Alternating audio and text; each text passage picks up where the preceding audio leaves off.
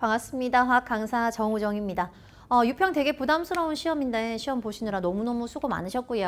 아, 정말 이번 시험 치고 나서 가장 많이 들었던 소리가 쌤 전 정말 잘 풀었다고 생각했거든요. 아, 그렇게 많은 실수가 나왔을지 몰랐어요. 하시는 분들. 자, 그리고 17번, 18번 정수배 처리를 깔끔하게 하지 못한 것 같아요. 그래서 19, 20번을 풀어내지 못했어요. 하신 분들.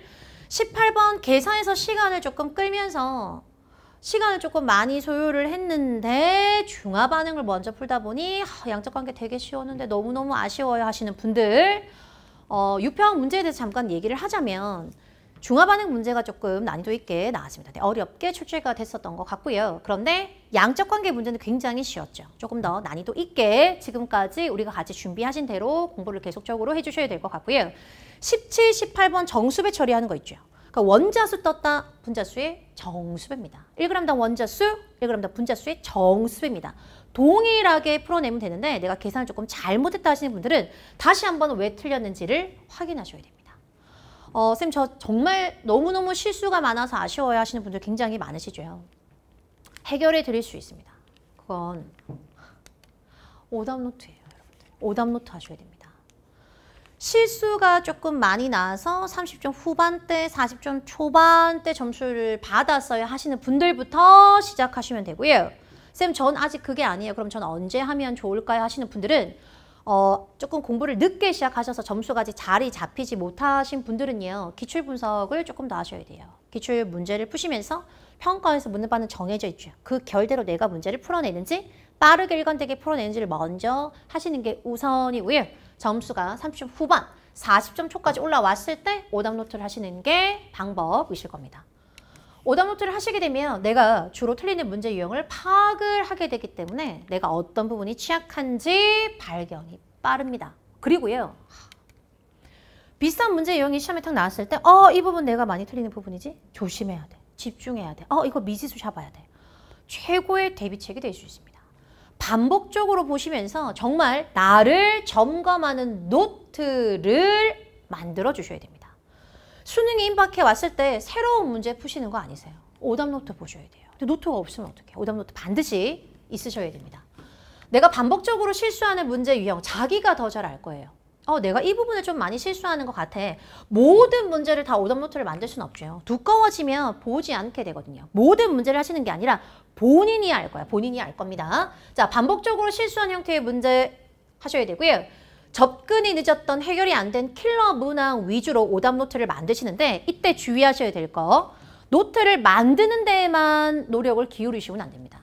예쁘게 만드는데 시간 투자를 하셔서 본질을 잃어버리시면 절대로 안 됩니다. 그냥 깔끔하게만 만드시면 좋을 것 같고요. 자, 문제를요. 잘라서 붙이셔야 돼요. 오히려 붙이셔야 돼요.